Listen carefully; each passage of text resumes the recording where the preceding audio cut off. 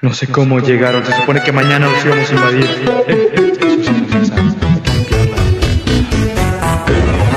sí, aquí estábamos. ¿Qué coño? Eh,